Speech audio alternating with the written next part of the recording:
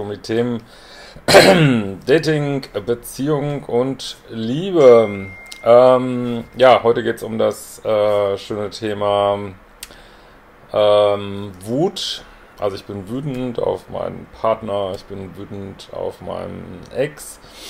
Ähm, also ich persönlich finde das ein hochspannendes äh, Thema, weil, also erstmal ist Wut eng verknüpft mit dem Schmerzkörper, so. Und ähm, ja, ich habe schon den Eindruck, dass eigentlich also ein großer Teil an Problemen in Beziehungen, also jetzt auch wirklich nicht nur in Liebesbeziehungen, entsteht aus Wut.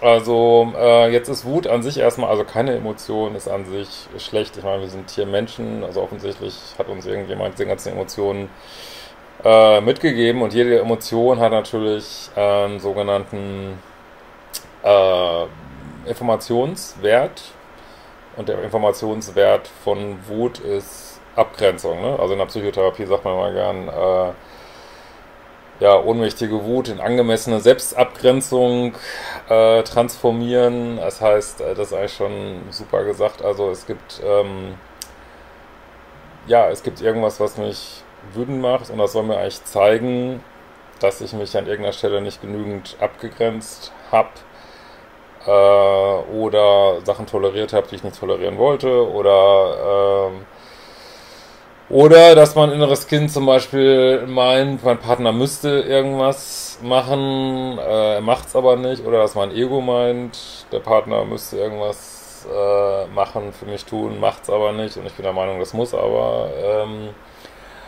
und, äh, und Wut entsteht eben viel aus Verletzung auch. Ne? Also ich fühle mich verletzt von jemandem und ähm, habe dann, das ist eigentlich so die gefährlichste Wut, finde ich, äh, habe dann diese Wut zurückzuschlagen. Ne? Ich, also ich meine, also real, das ist ja immer so, welche, es gibt halt keine richtige Realität in Beziehungen. Ne? Also ich meine, Partner, irgendein Partner hat mir dies und jenes getan, was vielleicht für andere von außen völlig also, absurd scheint, aber in meinem Weltbild hat mir dieser Partner irgendwas getan und ich äh, meine dann also irgendwie Satisfaktionen haben zu müssen und zurückzuschlagen. Und ja, also das scheint mir die, ähm, ja, die Basis zu sein für wirklich viele blöde Sachen. Ähm, weil natürlich dann, also ich bin wütend, ich schlage zurück irgendwie und äh, dann, ist der andere, dann ist der andere verletzt, dann ist der wütend, dann sticht der zurück und das Spiel kann man natürlich endlos weiterspielen, sag ich mal so. Ähm, ja, jetzt ist natürlich erstmal nicht per se äh, Wut an sich, irgendwie, wie gesagt, das muss man ganz klar sagen, es ist nicht Wut an sich, was irgendwie ein Problem ist, ähm, sondern, also wie, wie gehen wir um mit Wut so, ne? Wie gesagt, ich kann äh, Wut wahrnehmen und diesen Informationswert der Wut ah, da ist irgendwas passiert, äh, ich muss mich vielleicht abgrenzen, ich muss mal für mich einstehen, ich habe ähm, dies oder jenes äh, verletzt mich sehr, das kann ich kommunizieren irgendwie. Ähm, also das ist alles okay, ne? Und äh, Wut ist eben auch häufig im Ego und auch das Ego ist nichts Schlechtes. Also insbesondere, wenn wir uns verletzt fühlen oder, äh, oder ja, uns vermeintlich real jemand wirklich äh, was angetan hat, natürlich darf, also das ist ein guter Moment fürs Ego. Das Ego hat ja eine Schutzfunktion, wo das Ego sagen kann, hey, stopp, hier ist jetzt aber mal echt eine Grenze, so geht's nicht irgendwie.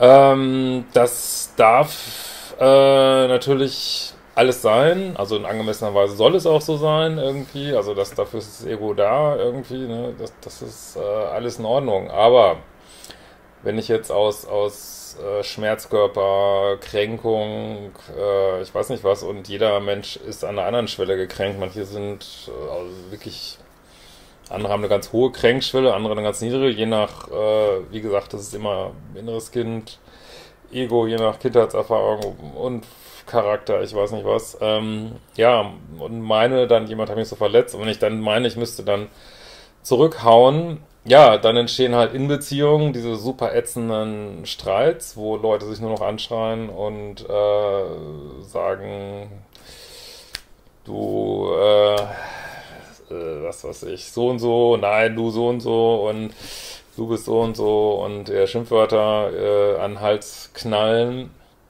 Ähm, ja, und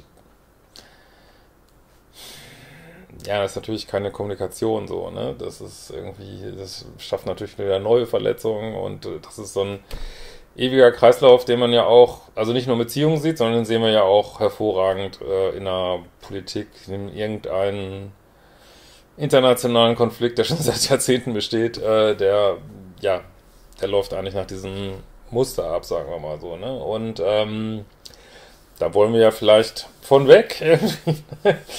Und insofern, ähm, aber ich wollte noch mal eine Schleife ziehen.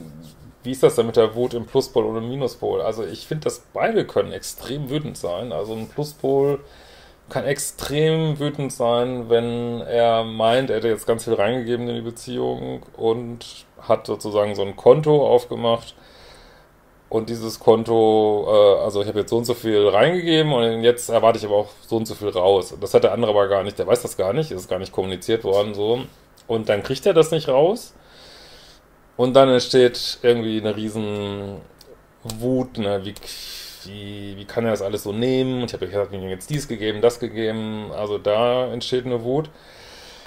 Aber mal ehrlich, im Minuspol, ich glaube, dass viele diese gruseligen Sachen, die man, äh, die ihr oder andere oder äh, die man erlebt, mit einem Minuspol, auch einem krassen Minuspol oder meinetwegen auch mit jemand, der äh,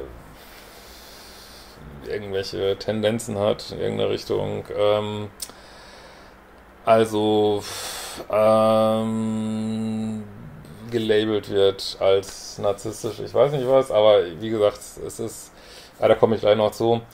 Also Minuspol ist, glaube ich, der Grund, warum so viele krasse Sachen passieren, ist nicht, dass sie so traurig sind. Also vielleicht sind die innen drin traurig, also sind sie bestimmt traurig, aber da haben sie gar keinen Zugang zu, sondern ist diese, dass sie dieses krasse, wütende, rebellische innere Kind haben, äh, was dann denkt, wie, was, der andere spielt nicht nach meinen Regeln, so, jetzt zeige ich es dem mal so richtig und jetzt, äh, kriegt er mal so die volle, jetzt zeige ich ihm mal, wie scheiße er ist und jetzt, jetzt spielen wir mal Spielchen hier und jetzt gehe ich nicht ans Telefon und es ist so eine krasse Wut, glaube ich, die äh, unnatürlich immer wieder, aber das ist ein anderes Video, dieses sich schützen wollen, das führt auch zu ganz viel Toxizität, glaube ich, aber heute mal, es ist auch wirklich häufig im Minusbau so eine total krasse Wut, ne?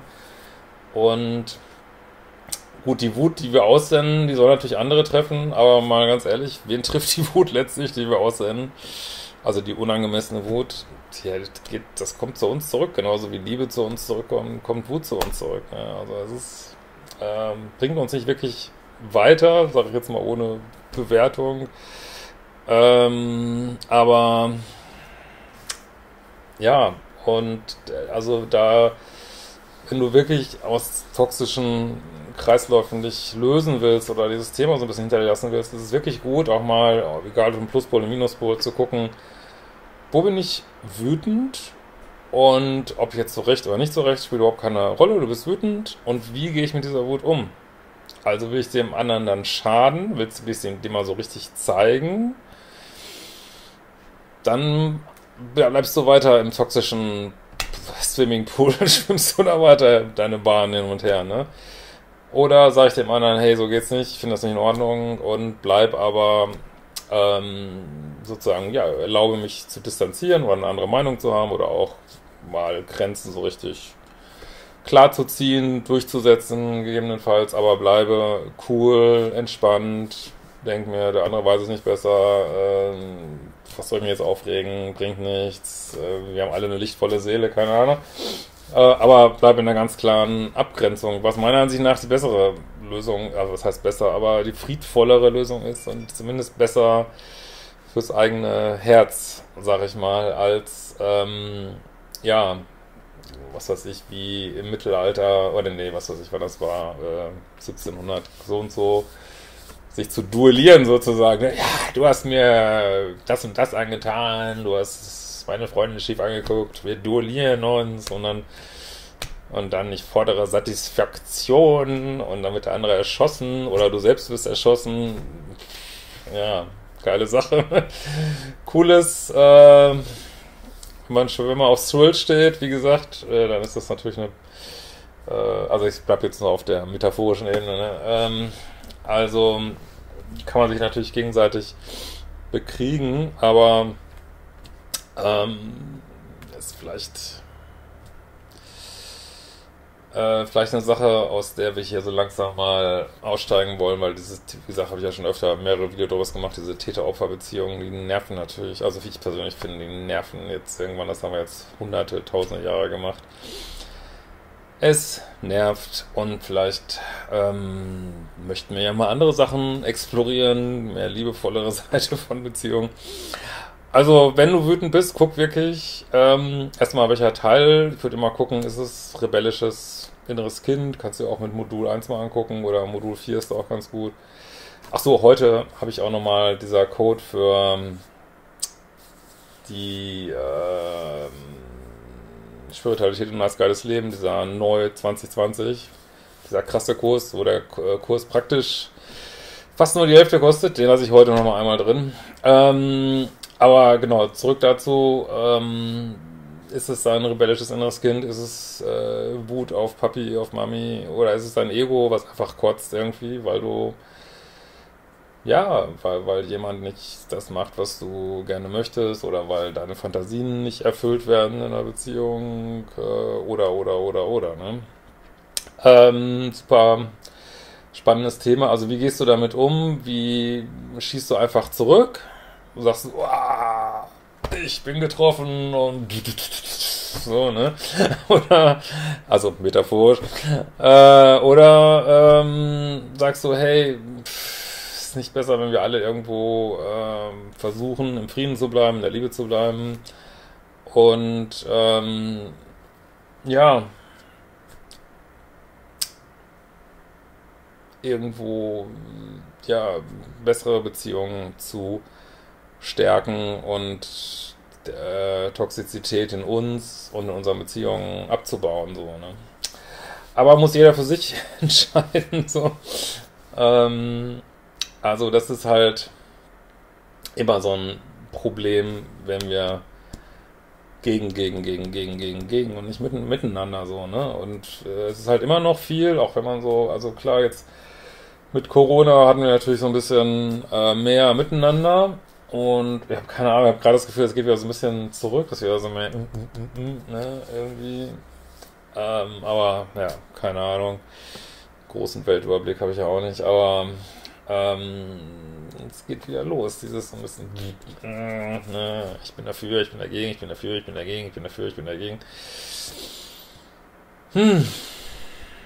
Ähm, und da finde ich, also muss ich nochmal noch mal kurz den Dreh machen zum Kurs Spiritualität und nice geiles Leben, weil ich da so ein bisschen auslege, zumindest aus meiner Sicht, wie kann das sein, dass, also wie kann ich jenseits von, äh, ich bin dafür, ich bin dagegen, ich bin wütend auf Menschen, ich bin traurig über Menschen, wie kann ich für mich Verantwortung übernehmen und gucken, okay, wie möchte ich mir ein nice geiles Leben erschaffen? Natürlich mit Ups und, also kriegt man vielleicht nicht immer hin, also eine Sache, die man vielleicht auch üben muss, auch länger üben muss, wie alles im Leben.